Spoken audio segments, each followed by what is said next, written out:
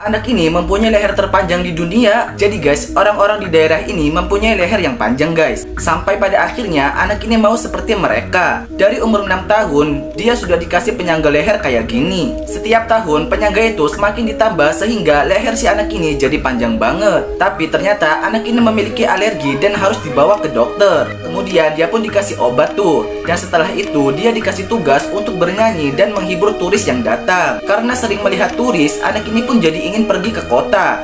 Tapi karena kondisinya seperti itu, dia jadi takut dibully tuh. Dan akhirnya dia memutuskan untuk tetap di daerahnya itu guys. Ibu bapak ini suka banget makan bapau. Suatu hari pas mereka makan bapau, eh bapaunya malah hidup. Ibu ini kaget dan merasa senang. Dan akhirnya dia pun merawatnya. Dia kasih makan, ke mana-mana selalu diajak, dan selalu disayang layaknya anak sendiri. Waktu pun telah berlalu dan si Bapau ini pengen punya temen tuh. Pas main bola dia gak dibolehin tuh sama ibunya karena dia lembek kan. Si Bapau pun jadi kesel nih. Bahkan ketika ibunya minta maaf dia gak mau maafin. Sampai disiapin makanan enak pun dia gak peduli guys. Suatu hari dia mau pergi bersama teman-temannya dan ketika pulang dia malah bawa seorang cewek Ternyata dia pulang cuma pengen ngambil barangnya aja tuh. Dan mau pergi lagi meninggalkan ibunya. Si ibu pun jadi sedih dan gak mau dia pergi tuh. Karena si bapak maksa jadi akhirnya ditelentu sama si ibu. Aduh ada-ada aja ya guys.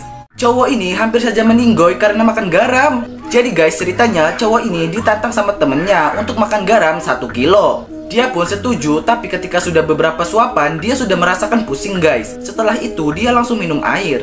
Tapi minumnya itu banyak banget. Dia pun melanjutkan makan garam. Karena tidak kuat, jadi dia pingsan tuh. Dan langsung saja dibawa ke rumah sakit. Setelah diperiksa, ternyata cowok ini mengalami gagal ginjal guys. Dia pun harus dioperasi dan beruntung operasinya berjalan lancar. Tapi dia harus pakai alat ini seumur hidup di lehernya. Kasian banget ya guys. Cewek ini dikatain iblis karena memiliki tanduk. Jadi guys, sejak dia lahir, dia itu sudah memiliki tanduk kayak gini. Karena itu, dia pun dikira iblis oleh orang-orang. Si pendeta pun juga kaget banget melihat anak ini bertanduk. Tapi beruntungnya, si pendeta tidak membenci dan mendoakannya. Ketika remaja, tanduknya itu masih ada dan malah tambah besar gini. Dia pun berpikir untuk operasi, tapi dokter bilang itu terlalu berbahaya. Akhirnya, dia pun tidak jadi operasi guys. Dan sampai sekarang semua orang masih kaget kalau melihat cewek ini. Tapi beruntungnya masih ada orang-orang baik yang mau berteman dengannya guys.